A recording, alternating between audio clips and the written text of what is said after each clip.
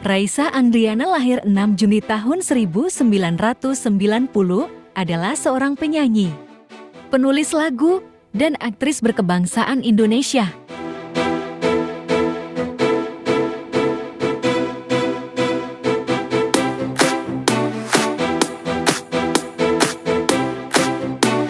Bakat menyanyi Raisa muncul sejak usia dini.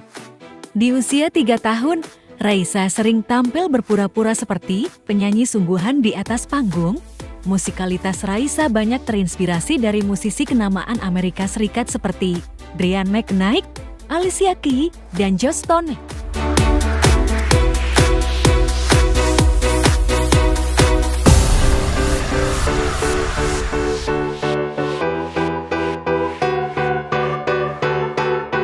Pada awal karir bernyanyinya, Raisa sempat digandeng komposer kenamaan David Foster untuk tampil di konsernya di Jakarta pada tahun 2008. Raisa pun pernah menjadi vokalis band bentukan Kevin Aprilio Andante yang merupakan cikal bakal dari berdirinya band Viratel.